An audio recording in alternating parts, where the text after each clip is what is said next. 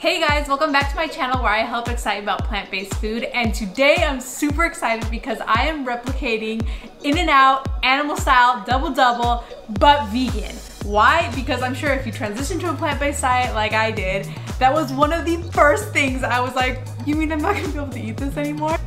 so guess what? There's a way you can make it at home and I'm gonna try it Let's do this. So first thing you want to do is saute some minced yellow onions until they're nice and caramelized. Then you want to get Beyond Meat patties and form them into smaller balls. You should get four and then press them into thinner patties like In-N-Out style.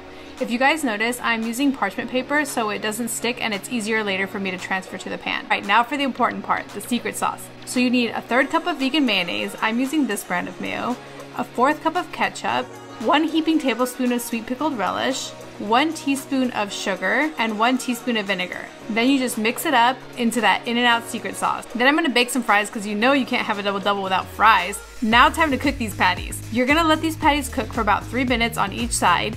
Season with a bit of salt and pepper if you want. While one side is cooking, you're gonna wanna put one teaspoon of mustard on top because then you're gonna flip it and sear it for flavor. Found that on somebody's YouTube hack. Next, you're gonna put on the vegan cheese of choice, and since it's vegan, you're gonna want to cover it a bit to help it melt.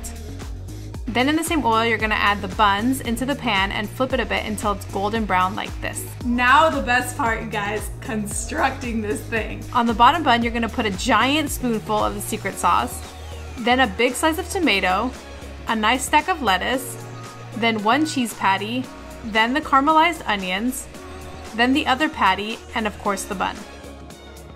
And because I'm an overachiever, I decided to go for the full experience and make a strawberry milkshake out of So Delicious vegan ice cream and fresh strawberries. Okay guys, it's the moment of truth. I'm so freaking excited. I just want to thank you all for supporting me because I feel like I'm about to die and go to heaven. Oh my gosh, look at this. Mm. Oh my gosh, you guys.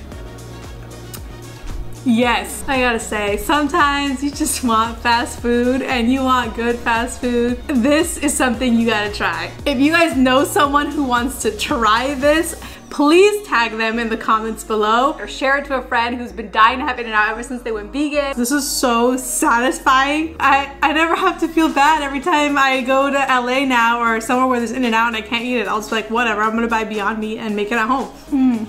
There's a reason they serve it to you with a little paper bag at In-N-Out because this thing gets messy, but whatever, I don't care. My personal favorites for vegan cheeses that I recommend to use for this burger is either the Violife Cheddar or the Vegan Foods cheddar flavor, but you can use any vegan cheese that you want. If you guys are new to my channel, I basically try to excite people about plant-based food through travel guides, recipes, food reviews. I wanna try to excite people who are transitioning or curious about a plant-based diet, or maybe you already follow a plant-based diet and you just wanna see my spin on things. So yeah, if you guys like this video, make sure to hit the like button and subscribe, get notified about my other videos coming out in the future. Let me know what you guys wanna see next and just stay tuned for what I got for you.